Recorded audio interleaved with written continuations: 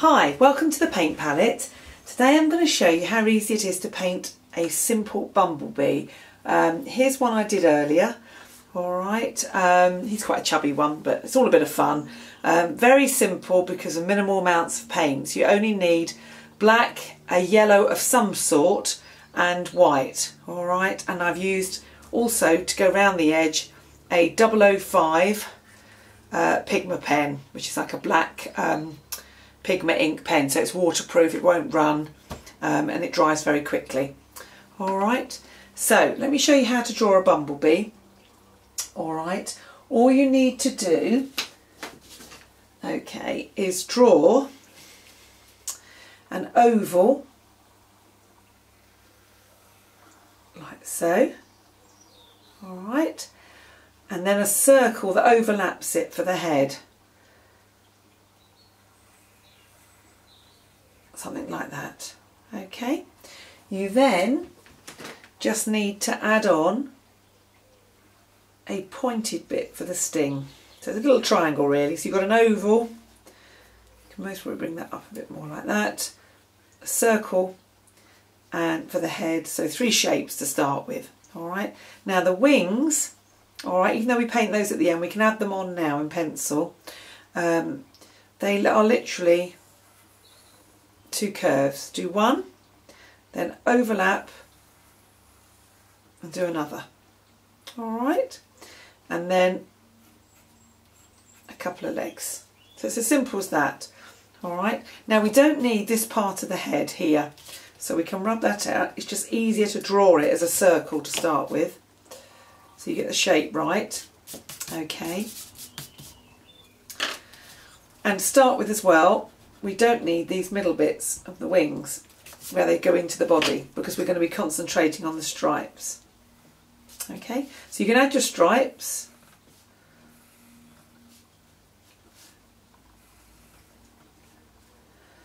Okay, something like that. All right, you can have as many or as few as you want. So one there, one there, something like that. All right, now the brush I'm going to be using, okay, is a flat brush. All right, now it must be flat across the top. It can't be an angle or a round brush. All right, so flat across the top. Obviously the size, um, whichever's easiest for you, painting your stripes and that. And the paints we're using, the colours are black, yellow and white. All right. So first of all, wet your brush, dab it dry because you don't want a piece of kitchen towel or a cloth, and pick up your black and paint the black head like so.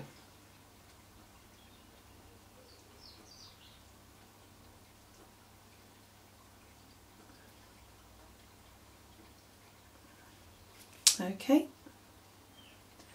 You then need to paint your black tail. So just literally dab on the lines with the edge of the brush and then go onto the corner and fill it in. Okay, you can neaten it all up with the pen at the end. All right. So we've got the black head and the black tail. Okay, so We'll put some black on now here. I tend to put black next to the head. Don't know why, just seems to work. But you can do the stripes in any order you like. So pop some black on. Your lines are only a guide, we can rub them out at the end, so don't worry about sticking to them rigidly. Okay, black on, quickly wash your brush. Okay, dab it dry. Pick up some yellow.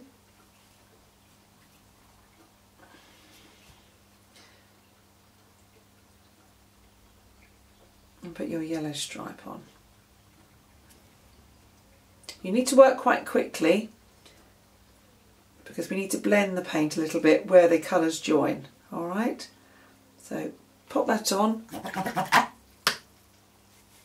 That funny noise you can hear is the my wash box. It's got rivets in the bottom so that it really pulls the paint off the brush.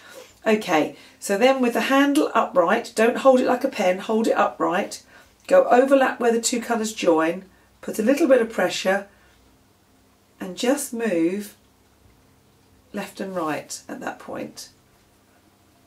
Okay, because what you want to do is just blend the colours a little bit and it gives the bumblebee a bit of a furry look then.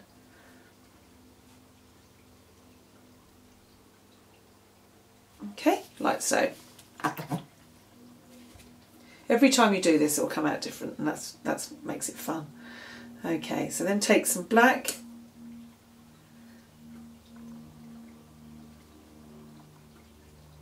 put a black stripe on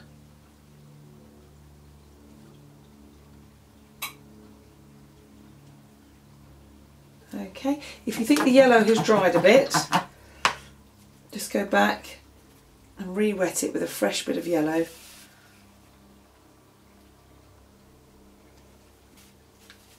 Along that edge. Okay. Wash your brush off and dry it again. Handle upright, like this. And then quickly move the brush down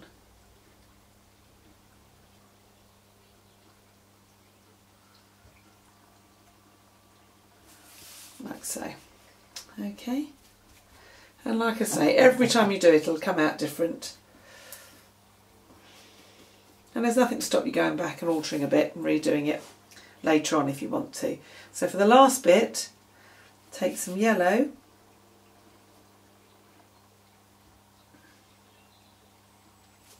Obviously you may have more stripes on your bumblebee, that's fine.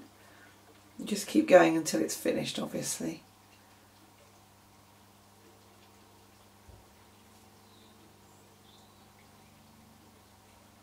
Okay, some yellow. Wash your brush. I think that black is just about dry, so I will take a tiny bit.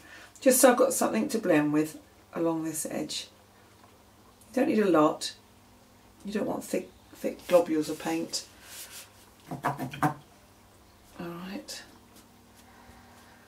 Handle upright.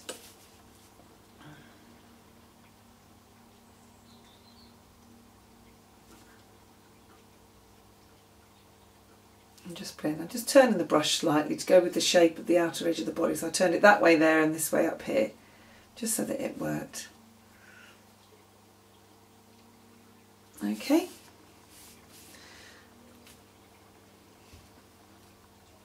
Let's go back and twiddle.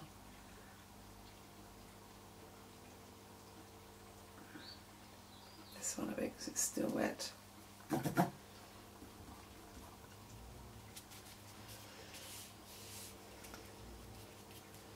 Okay, that one's come out really well as you can see. Alright, this one here may have been just slightly bit too wet. Alright, I'm tempted just to put some yellow back over the top. Alright, I think I may have had just a bit too much black on that edge. Let's see if it can work neatening it up.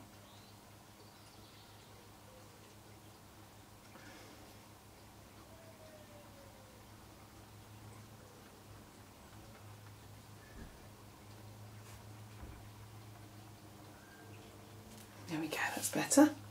All right, so you've got yellow back, yellow black. All right. Okay, what we can do now is just dry that with a hairdryer.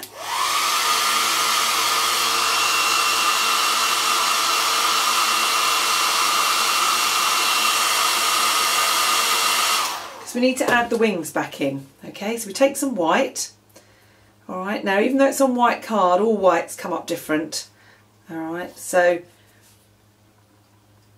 when it's dry it will look slightly different and then they'll show up.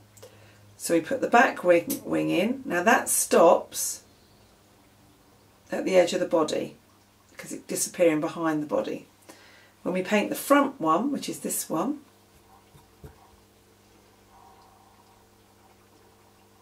okay, what I want you to do is to bring it onto the body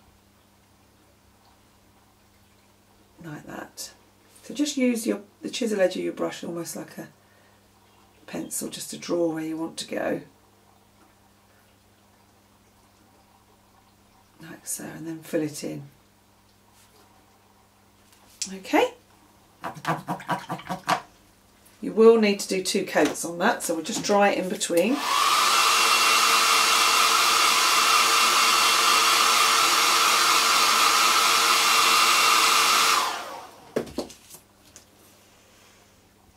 Okay, a bit more white.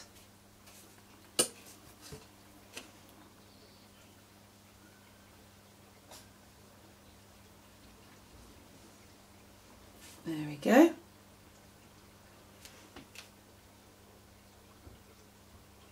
Neaten off your lines a little bit. There we go. And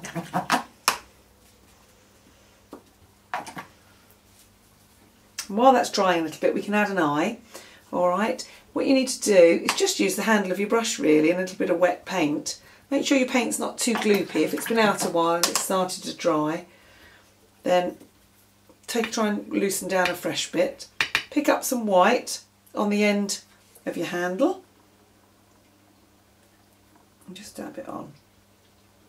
If you want to make it bigger, just swirl it around a little bit. Okay, I like it like that because it's not too strong. It's soft and you know a softer eye. Okay, dry that with the hairdryer.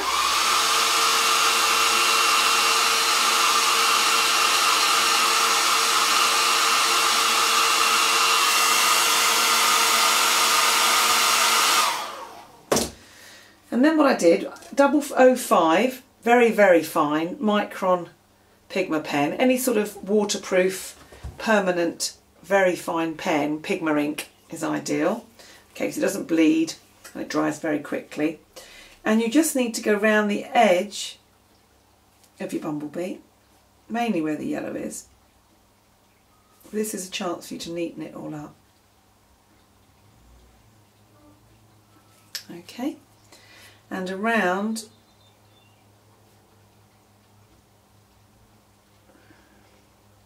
the edge of your wings. Like that. You can add the legs on. Alright you can pop